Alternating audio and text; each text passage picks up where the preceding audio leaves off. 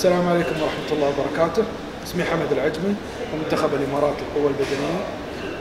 powerlifting اليوم بالتعاون مع Generation Strong مع نادي بالرميثة راح أقوم بفيديو تعليمي عن تكنيك حركة ال bench.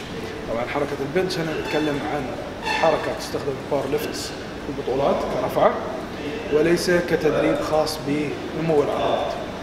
آه، كثير من الناس يسألون عن ال bench وكيف طريقة التكنيك اللي موجودة في في البطولات. ويخلطون ما بين طريقة التكنيك اللي موجودة يستخدمونها آه، لاعبي كمال الأجسام ك bodybuilders وال technique اللي إحنا نستخدمه وبين الفروقات اللي بالنسبة لل bench كحركة تستخدم في الحمل بالقوة أو ال powerlift تختلف عن التمارين للنمو العضلي اللي نحن نستخدم فيها جميع العضلات. نستخدم فيها كحركة آه، وضعيات مختلفة بحيث أن نحن فعلا نوصل لأعلى مستوى رفع الوزن. نستغل فيها طبعا الحجم العضلي آه، أطوال الذراع التكنيك اللي موجود. لو آه، من خلال شرحنا بتلاحظون أن حركة البنش يستخدم فيها جميع أجزاء الجسم. بدءا من الرأس ذراعين الأكتاف الصدر باي تراي سواعد إضافة إلى آه، الظهر الخلفي الأجنحة وأيضا القدمين فعلا القدمين تساهم فعلا في آه، عملية الرفع. وبنشوفها بعد شوية في البداية إحنا على أساس نتأكد إن إحنا نستغل وضعية الجسم بطريقة فعلية وثبات فعلي عشان نرفع أعلى وزن لازم نبتدي أول شيء في البداية. إذا بعلم البنج من الرأس والكتفين واللوحين. طبعا في البداية لازم اللوحين يكونون دائما شادين على بعض. إذا بنلاحظ من الخلف لوحين كتف أضمهم على بعض. في هاي الحركة أنا أضمن أن الجسم شاد الظهر شاد يحمي الظهر العلوي. إضافة إلى إذا نلاحظ إذا يدي بهاي الطريقة المسافة تقل بحركة اللوحين. وطبعا إذا قللت المسافة في عملية الرفع. أنا أستفيد من المسافة هذه بحيث أني أرفع أعلى وزن مش المسافة أعلى. كل ما قصرنا المسافة كل ما كان أفضل أن نحن نبذل جهد أقل ونقدر نرفع وزن أكثر. هاي في البداية مثل ما شرحنا اللوحين نضمهم. بعدين الجناحين نجيبهم على تحت كأن الجناحين ينزلون يلامسون الأرض تضغط بهم وبالتالي بتحس بشد وثبات في هاي المنطقة. طبعا الحين بنحاول نطبق اللي تكلمنا عنها قبل شوية في مسألة عملية حركة لوحين الكتف إضافة إلى الصدر من من فوق. كيف نقدر نستلم البار في البداية أفتح الصدر بحيث أنه يوصل لأعلى مستوى. عين البار لازم يكون مستوى العين. بالنسبة لمسكة الإيد تختلف على حسب الوضعية اللي أنت تحتاجها والوضعية اللي أنت تكون فعلا مرتاح فيها وأقوى شيء فيها. طبعا العملية فيها بعض التفاضل والتضحيات إذا وسعت أنت تضغط على الأكتاف أكثر إذا ضيقت تشغل الترايسبس أكثر فتضغط على الأكوان. لكن فضل في البداية إذا تتعلم الحركة أنك تستخدم لا أنه واسع بشكل كبير ولا أنه ضيق بشكل كبير شكل معتدل ممكن عند الخط. هذا طبعا نبتدي نضم اللوحين الآن. وبالنسبة للصدر وحرك الأجنحة ثبتها واحد.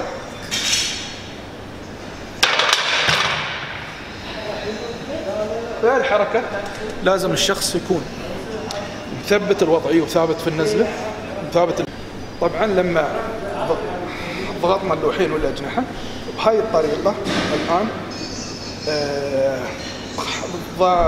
ظلينا محافظين على شدة الجسم إضافة إلى استخدام أكبر آه جزء من العضلات سواء الصدر okay والظهر العلوي تمام والأكتاف okay وال triceps.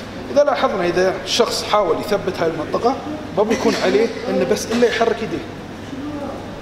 وإذا فعلا ضم الأجنحة بينها بلاحظ إن المسافة تكسر والأجنحة تدفع معه. حاليا بهاي الحركة ما تدفع فقط بالصدر تدفع بجميع العضلات هذه وتستخدم القوة الممكنة بجسمك كله بالنسبة للتقوس اللي تشوفونه عند آه لاعبي ال powerlifting طبعا هم يقوسون الظهر بحيث انه فعلا يقللون المسافة ويرفعون الصدر. التقوس غالبا ما يكون من الظهر آه direct لكن في البداية يبتدون يقوسون الظهر, العلوي بحيث أن يكون الثبات من فوق. إذا بنلاحظ عملية التقوس طبعا أنا حين دير متقوس بهذه الطريقة إذا بديت ابتدي أقوم بعملية التقوس تلاحظون خاصة من فوق أن المسافة مسافة الصدر بهذه الطريقة أصبحت أقل وبالتالي أقدر أرفع أكثر. لكن في عملية تقوس طبعا بدون تقوس شوفوا المسافة قلت بالتقوس آه المسافة زادت بالتقوس المسافة قلت. إضافة عملية التقوس بالظهر العلوي ويا الظهر السفلي مش تقليل المسافة فقط ولكن هي تساعد أيضا إلى عملية شد الجسم. بحيث أن الجسم ما يفقد شدته تحت. غالبا الناس إذا بتفشل في الرفعه تحت بحيث أنه فقد شدته تحت. إذا فقدت الشده تحت كيف أنت بتدفع الجسم نفسه لاجزائه انه يدفع بقوة؟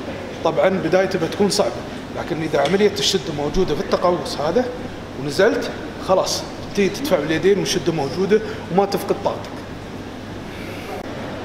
عشان تتم عملية التقوس بشكل صحيح لازم تتم من القدمين بحيث أن القدمين تبون محافظين على ثباتهم ثبات الجسم على البنش نفسه بحيث أنه ما يتحرك يمين يسار.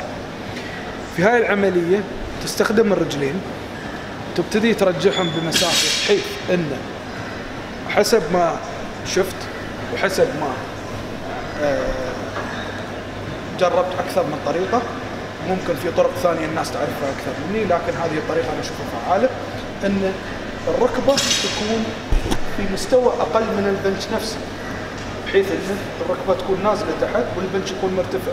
بهاي الطريقة أنت تكون شاد المنطقة وتشد عملية الدفع بحيث أن المقعدة هنا تكون شادة وعدم تحركها عن البنش. نشوف هاي العملية بشكل مبسط. ترجع تحت. نبتدي مثل ما بدينا فوق. نعدل الصدر واللوحين. وبعدين نبتدي عملية التقوس الرجلين والدفع عملية الدفع تفيدني بحيث أني أنا أدفع البنش بقدمي.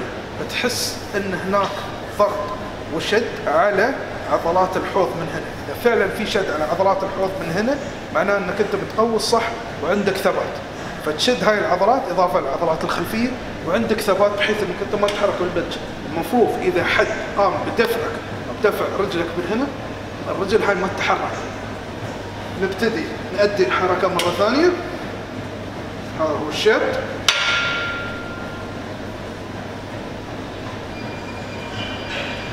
اللي أقوم به أنا وأنا نازل بالتدريج بالتدريج نازل. الرجلين اضغط بهم الأرض. ولما أدفع أدفع بيدي وبرجلي في نفس الوقت. بهاي الطريقة أنا أكون دفعت البنج للأرض ضغط بالأرض ودفعت برجلي فوق. فهنا القوة تبتدي تمتد. من الرجلين إلى فوق بالبار وتكون عملية فيها أقوى والدفع فيها أفضل. في بعض الإضافات نحب آه نتكلم عنها. إذا آه وأنا أستخدمها طبعا بحيث أني أنا أحافظ على شدة جسمي في الرفعة. آه بالنسبة لي لما أمسك البار أخلي الضغط بين القبضة موجود وأحاول إني كأني أثني البار على تحت. إذا لاحظنا من الحركة وأنا أثني البار على تحت الاجنحه شادة. طبعا ظل الظهر شاد الاجنحه شادة والأكتاف الخلفية شادة. إضافة إلى وأنا اعمل الحركة هاي الصدر عضلة الصدر الأساسية. okay. تبتدي تتقدم على فوق وتشد. فبالتالي أنا أحافظ على شدتي هذه في عملية الرفع وال control عندي دائما. التحكم بالبار موجود. بحيث لما أنزل يكون الشد موجود. نجرب الطريقة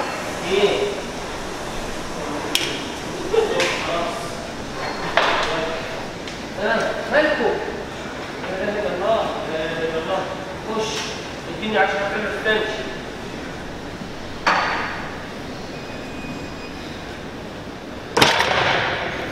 يلا يا عم تعال وهي الطريقة الحركة ثابتة ما فيها خلل ما فيها ارتعاش اليدين ثابتات. البار يتحرك في خط مستقيم بهاي الطريقة وينزل في نفس المكان. بعض الأمور الشباب لازم ينتبهوا لها في عملية رفع الوزن. طبعا الناس لما ترفع الوزن تبتدي تنزل وترفعه بهاي الطريقة بعدين تعدله إذا أنت رفعت الوزن بهذه الطريقة آه، بتبتدي تخسر الشدة اللي أنت فيها. وما بتقدر تعدل نفسك مرة ثانية. فالأفضل إنك أنت تسحب الوزن باستخدام الأجنحة بهاي الطريقة تكون في وضعيتك اللي تقدر عليها ويكون فعلا الوزن ثابت والعضلات ثابتة والوضعية ثابتة والتكنيك في أفضل مستوى. نجرب الطريقة. أنا أبتدي اعدل وضعيتي. أكون بنفس الهاي. أدفع بالرجلين. وأسحب الوزن. أسحب الوزن سحب. تلاحظون ما في حركة. إذا جربت أسوي الطريقة اللي هي هذه أنا تعبت الكوع تعبت الترايسبس وما أقدر أفضل في الوضعية هاي عمليه عدلها وبالتالي خسرت الطاقة اللي موجودة وممكن في حالة إني أنا أرفع بالقوة القصوى أو الوزن اللي بستخدمه في البطولة أخسر الرفعة وما أقدر آه، أنجزها. بالنسبة للدفع بالرجلين في النهاية الناس تعاني من مشكلة ارتفاع الجسم في حالة الدفع بالرجلين. لكن هناك طريقة ثانية أنا أفضلها إنك أنت بعد ما ترجع بالرجلين للخلف بحيث إنك أنت تثبتها للدفع إنك تلف من ناحية ال- الأنكل. وطبعا هذه آه، ممكن تختلف من شخص لشخص على حسب مرونته وحسب كفاءته. لما تلفها يظل الشد من الخلفية وثباتها. ولما ترجعها فعلا ويكون الشد من عضلات الحوض الجسم ما بيرتفع ابدا بهاي الطريقة لأنه خلاص وصل نهايته عمليه الشد. نجربها الآن. إذا بتشوفونها من الطرف تلاحظون العملية رجلين الحين متجهة إلى الأمام. أنا برجع وبلف رجلين للداخل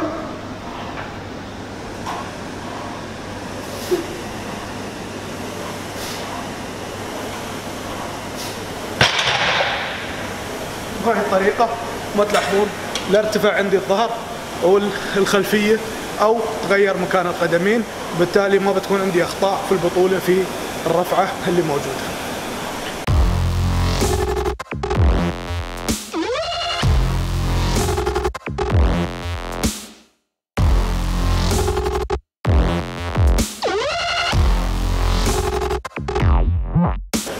في أمور ثانية لازم ينتبه لها اللاعب في مسألة التنفس.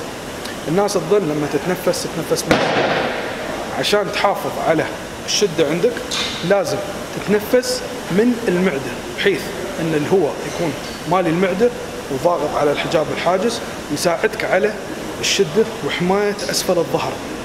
وحماية الظهر بشكل عام وجسمك يكون شاد وعاطي قوه بشكل كبير. بالنسبة لي أنا لما تنفس. إذا أنت بتشوف نفسك تتنفس بطريقة صحيحة هو الافضل أنك آه تشوف نفسك أمام المرأة في البداية. إذا شفت إن صدرك تحرك مثل صدرك تحرك على فوق معناه إن الهواء في صدرك أنت ما تنفست من المعدة. لكن إذا بديت آه، تدخل الهواء في المعدة تحس إن صدرك ثابت مثل المعدة شادة والجسم شاد. هاي الطريقة آه، تبتدي أنت فعلا تطلع جزء الطاقه من داخل الجسم. قد تلاحظونها بالنسبة للشباب اللي يتابعون الرياضة مثل الرياضات القتالية أو لعبة الكاراتيه.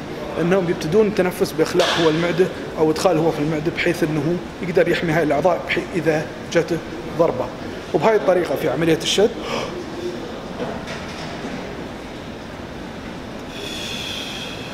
نطلع الهواء بشكل تدريجي بشكل بطيء ونبتدي نظهر الطاقة بشكل أكبر.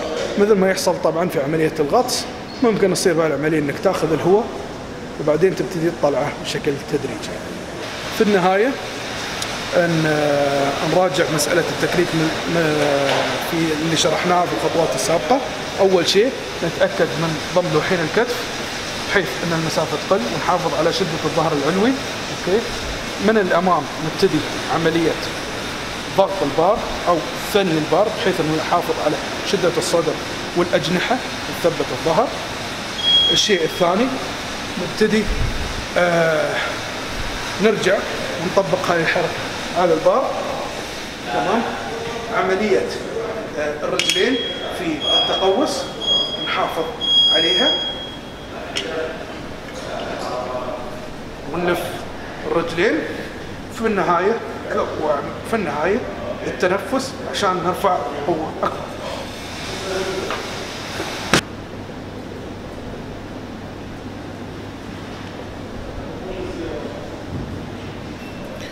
آه، في النهاية هاي النقاط اللي تكلمنا عنها. والشخص إذا بيتعلم التكنيك لازم ينتبه لها. واحد عملية شد الجسم بلوحين الكتف. والأجنحة إضافة إلى آه، تقليل المسافة برفع الصدر إلى أعلى. اثنين عملية التقوس حيث الواحد ينتبه فيها أن يقوس على الظهر وإضافة إلى أسفل الظهر. ثلاثة عملية استخدام دفعة الرجل آه، وكيف تثبيتها على الأرض. أربعة التنفس كيف الشخص يحافظ على تنفسه من المعدة وكيف يتم آه، محافظ على شدة جسمه. في النهاية أشكر Generation Strong على مساعدتي في تقديم هذا الفيديو آه، لإخواننا الرياضيين العرب وإضافة إلى صالة برميثة لسماحهم لنا في تصوير هذا الفيديو آه، في مقرهم في دبي نادي الحمر. شكرا.